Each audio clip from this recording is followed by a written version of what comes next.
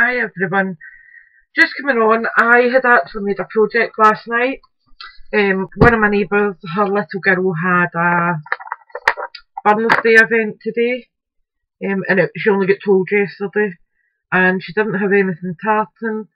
So she had asked me to make up a few um, tartan, a tartan bauble and a tartan clasp for her. Which I done.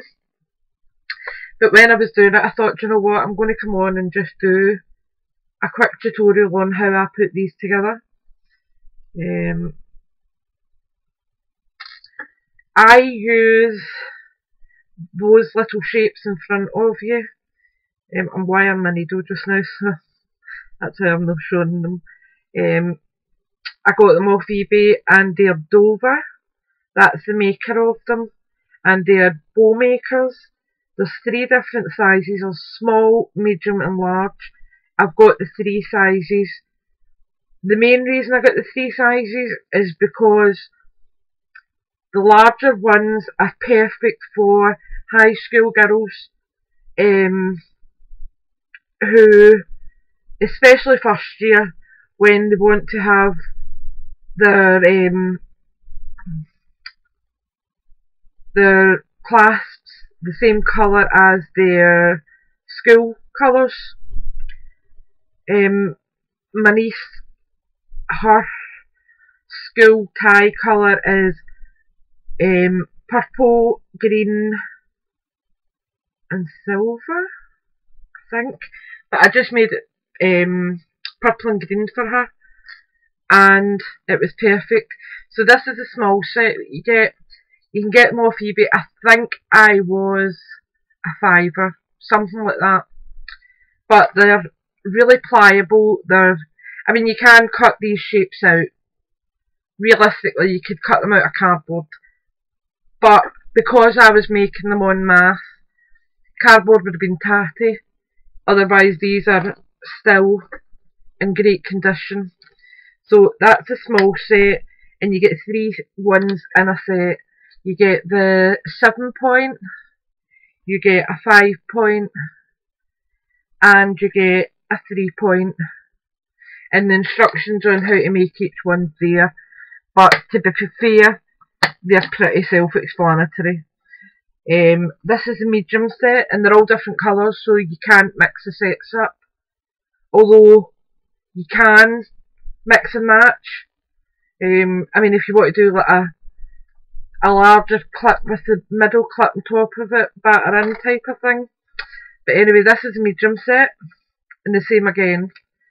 Same uh, 7, 5 and 3, and this is a large set, 7, 5 and 3. Um, the clasp I'm going to make today is preschool um, for Valentine's.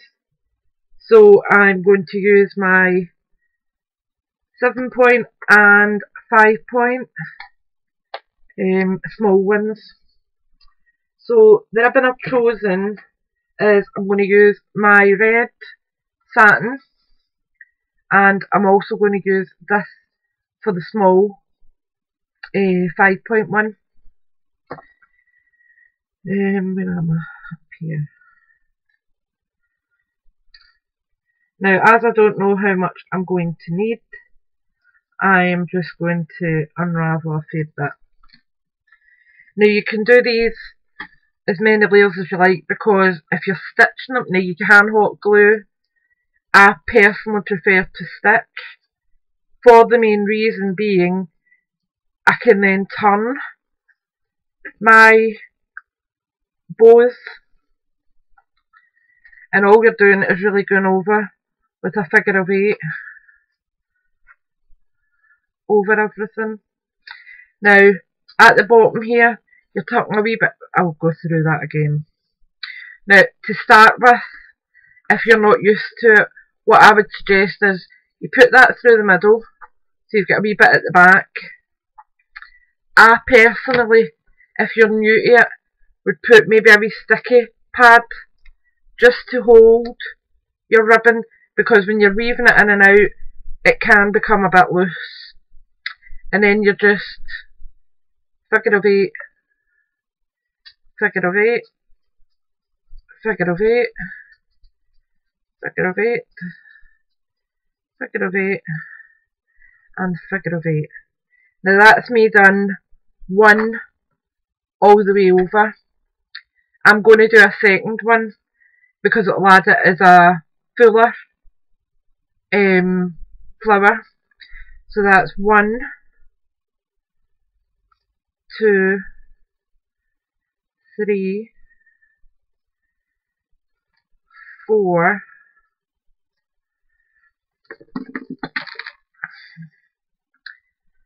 five, six, seven. So that's me done my two sets. Is that right? Yep. Now you do really use a lot of ribbon making this, which is why I would suggest looking at Chinese suppliers. Yes, the quality is not the best, but when you are buying to make this type of thing, quality is not the most important. Um, it's not going to be directly on the person's skin. Um, so you're not worried about um, it hurting anyone or being rough. Although some Chinese suppliers, the ribbons are really good quality and they're not that rough anyway. Uh, I have bought lots and lots from abroad um, and I can't complain. A lot of the grosgrain as well, the ribbon from China, um, like the character ribbon, it's absolutely fine. Um, now I just go through this a good few times to make sure I picked up every single strand and don't worry about the stitching at the bottom and you can use any colour of thread. Um, I've just used this one because it's quite a, that's the other thing, make sure it's a strong thread because when you're pulling and hauling at it and let's it, if it's for a preschool child, nine times out of ten they'll pull them out of here anyway by the bow so you're wanting it to be quite sturdy. Right, I'm just going to tack this off now. And as I said, I don't worry too much about the bottom where the knot is because no one's going to see it. So that's what you're left with there and I'll just snip that bit of ribbon off now that I don't need it. And I always just cut it at the angle and you can trim that right down to your stitching almost. You can take this part off now and save that because you can reuse it again. And then all you're doing is using your finger, just push it off. And these are really pliable, so it's not going to damage it in any way, shape or form. And that's what you come out with. This wee centre part that you had stuck down, just snip that off. Don't need it. And because I've got two layers on it, you just separate your layers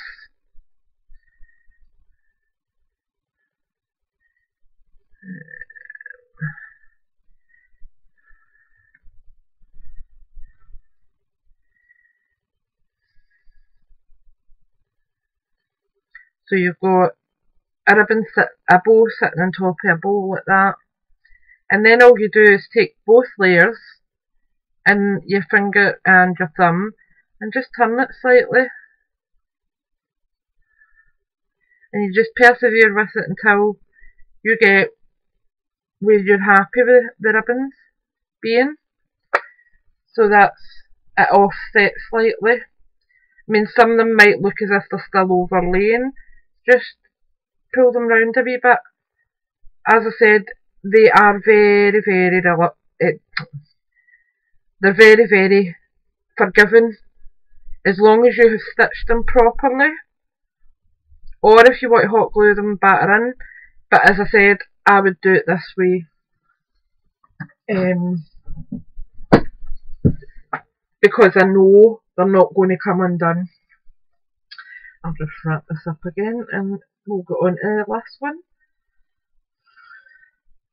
The last one I'm only adding one layer um, because it's going to be like the signature layer and it's a thicker um, ribbon. It has a layer of satin and at the side of that it's got a little bit of organza. So there actually isn't much on this so I'll just take it off and then I can put it into my scrap when I'm done. So I'm just going to tie the end of my needle again.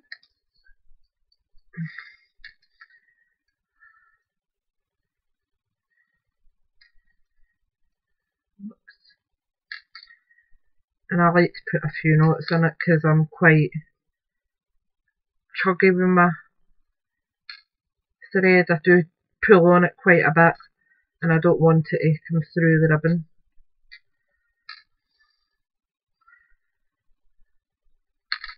And I'm not the greatest stitcher so if you are all sitting shouting at the screen, forgive me! right, again, put it through the centre and it doesn't matter if it looks a bit big it's not going to matter once you take it off. And again just hold it down with something. It can be sticky tape or foam pad whatever you've got nearby it just gives you that wee extra minute to manoeuvre. So again figures of eight.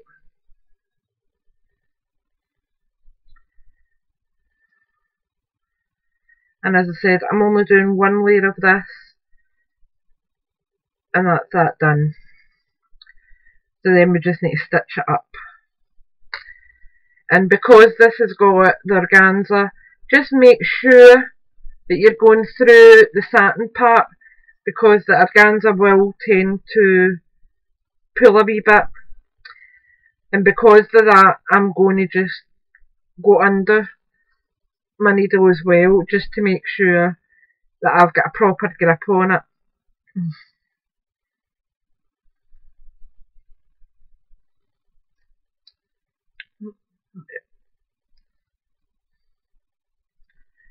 And again, just make sure that you've got plenty of stitching on it. Only takes a few seconds. And you're just back and forward.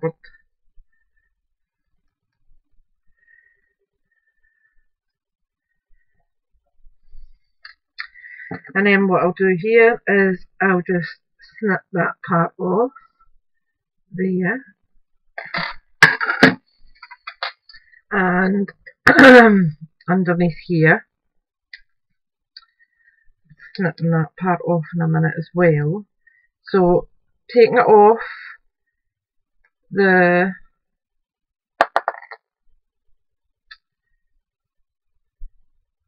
um, the holder.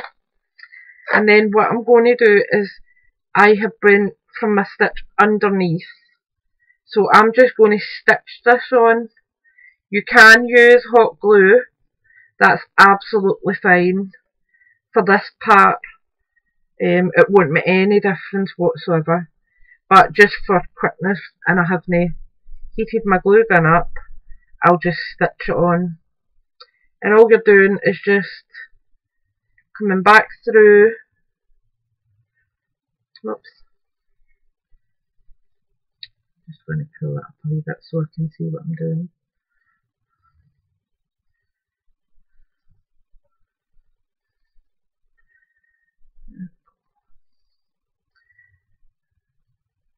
Oops, entangled here. That's better.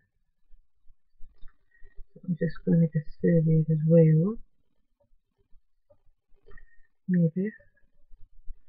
Yeah, that's going through. Just a bit tight today because I'm going through the stitching as well as the the ribbon. And my hands aren't great today either, which is a bit silly showing a stitching when my hands are not playing games with me. and then I'm just going to do it again just to make sure that the stitchings went all the way through and it's holding properly.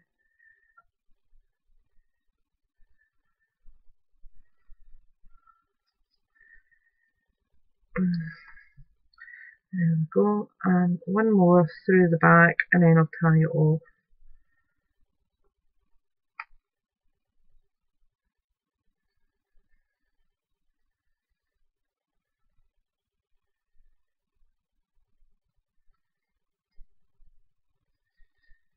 So that's that tied off.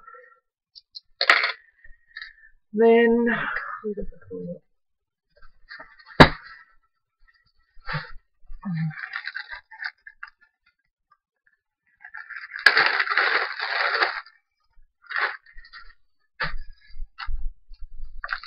these baubles you can pick up probably about 10 for a pound or something out the pound shop or you can get them one line in bulk um, I think I was probably about a tenner for 250 and that was assorted colours and all I do once I get them is just fix them out into wee baggies so I know if I'm running low on any one particular colour.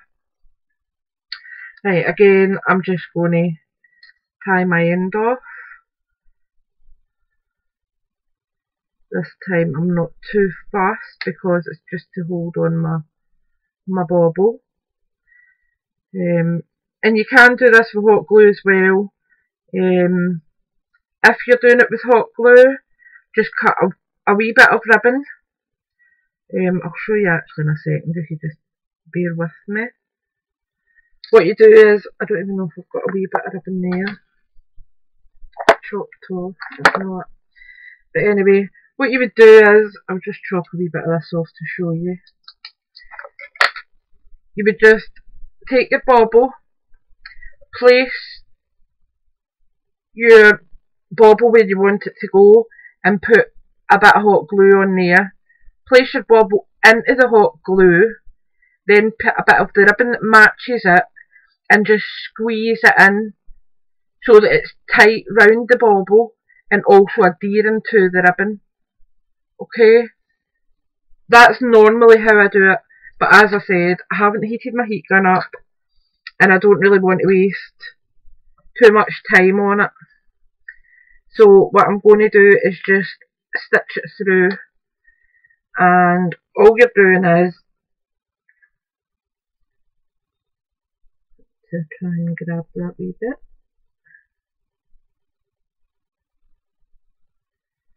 Come on hand, that's it. And what I do is just make sure that the metal part is up next to my bowl.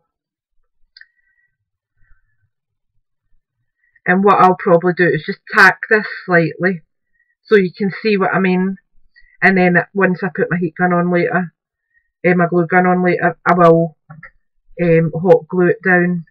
It is much more sturdy with hot glue. Um, so I find anyway.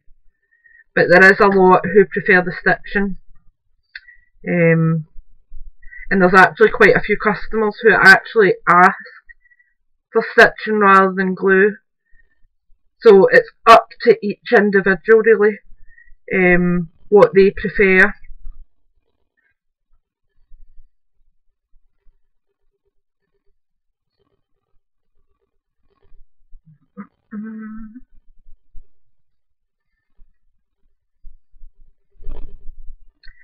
I'm just going to finish that off there because as I said, I will, when I put my glue gun on later, go back and stitch, uh, hot glue this down. So it's really just for an example I'm showing you. And that's it there. It's just stitched onto the bottom. Then you're just adding a wee something into the centre um, let me see what I've got. Now I've got a load of these. I bought. Um, they're actually altered bottle cap um, pictures, but the wee ones absolutely love them. So what I tend to do, let me see if I can find a red one. without looking at One Direction because they drive me insane.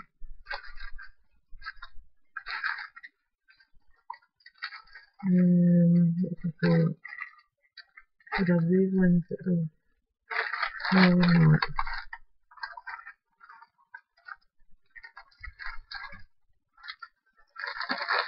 I have got tons in this bag as well.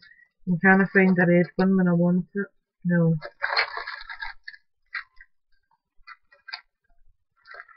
It doesn't matter. That one will do. It's got a wee bit of red in it. So that's Ariel from Little Mermaid. Oops. Just, just up a bit.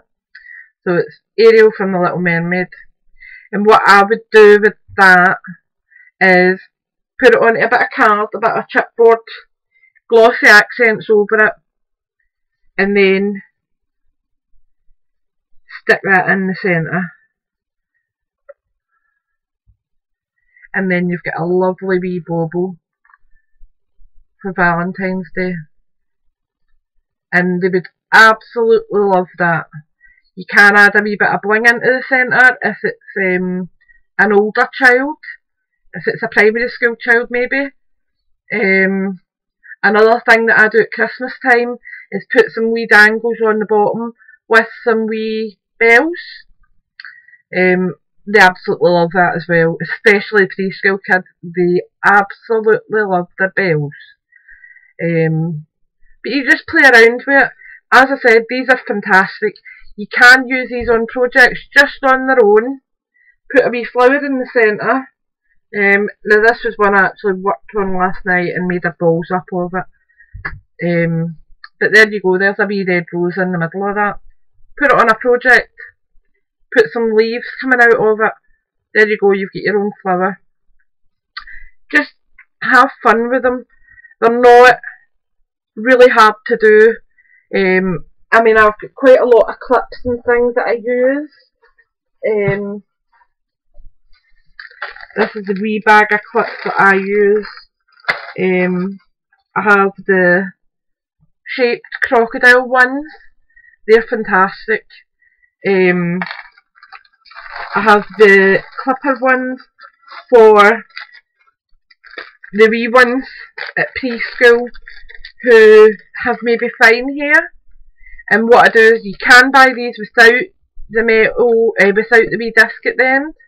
You can buy them and they've just, they've got a wee cross of metal missing. The only thing I don't like with that is then you've got maybe hot glue sitting right next to the wee ones here. And I don't like that. So I always buy the one with a wee disc on it. They're not much more expensive but your customers will be much more thankful. Um, for these ones, when I'm adhering them, what I do is I put E600 on there. Only glue I use with my clasps because I know it lasts. Then all you're doing is sticking it on and to hold that clasp because you need to let it hold for 24 hours. Stick a few of your clasps through just to hold it in place. Like that. Doesn't need to be perfect obviously for showing you. You'll get the gist of it. But use your other clasps to hold that one in place.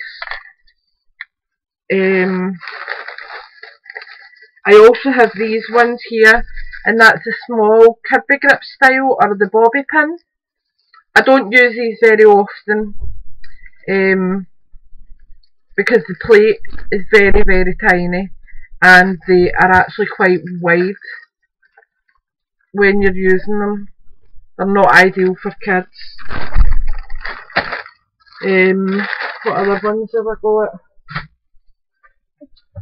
I have got my um,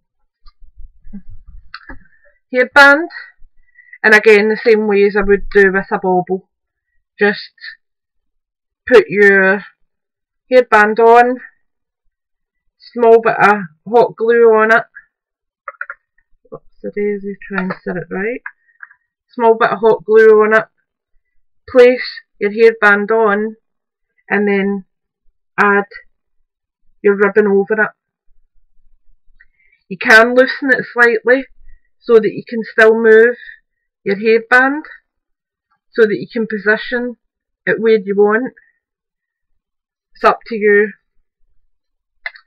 But hopefully that gave you a few of the ideas. Um, these are the big clasps that I buy for high school kids. Why is that glue on? That's better. They're the ones I buy for high school kids. As you'll see, they are quite wide. But E6000 or E600 and then pin it on the same way as I showed you a minute ago with the smaller ones. Um, and I also have that style in a smaller one for primary school kids. Um, but just have a go and I will speak to you all soon. Bye for now.